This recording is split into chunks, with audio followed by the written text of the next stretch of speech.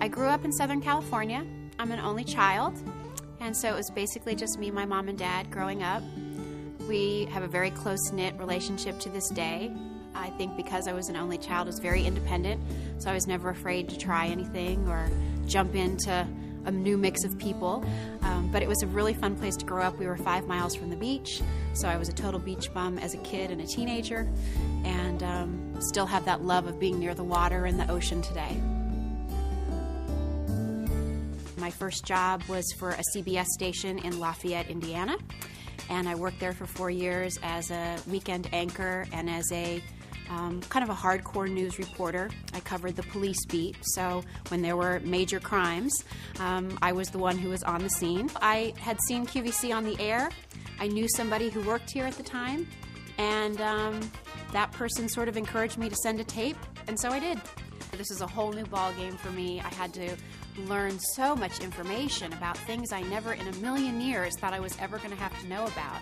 But I really relied on my reporting skills from journalism school to help me because I sort of have to be a little reporter for every product. I have to learn about the basics, I have to whittle down the information, and then I have to make sure that I don't bury the lead, the most important parts that a customer is going to want to know when I tell the story of the product. You are the woman. Well, thank and you. And I'm going to pay homage to you, my love.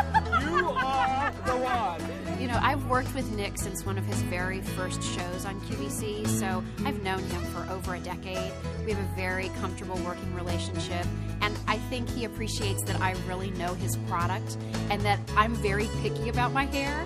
So I try to make sure that I really understand the issues that women have with their hair because I know I have mine. I'm sure he was probably just bowing down because he was either saying thank you or being appreciative that I understood his product so well. When you're on live television, you just have to expect that the unexpected is Hello. often going to happen.